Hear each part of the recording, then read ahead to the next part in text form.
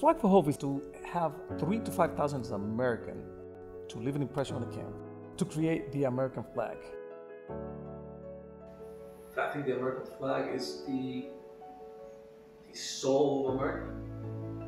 The what keep us together. What have made this country great.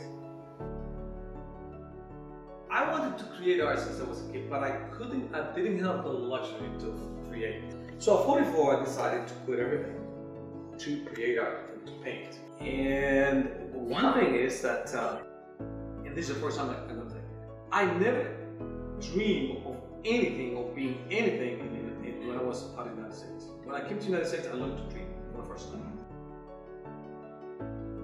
In a way, it equalizes people. You want to put America together. You want to put them at the same level.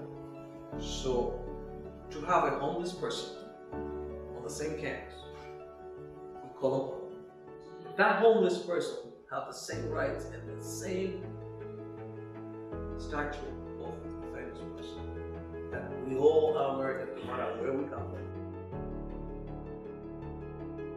Now that I've been around the United States and I have asked thousands, hundreds, military people, is that how much people are willing to sacrifice for this country, and how much is willing to, how much they love this country, how much they love this flag.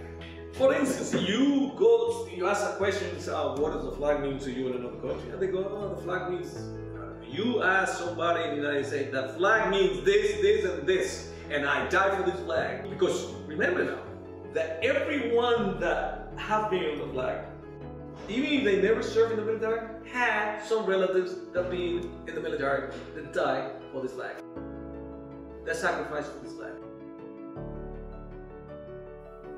Remember, there's 300 million people in the United States, so to pick stars for the American flag, first of all, people who have changed uh, the American way of life and have contributed great contribution to America and to humanity.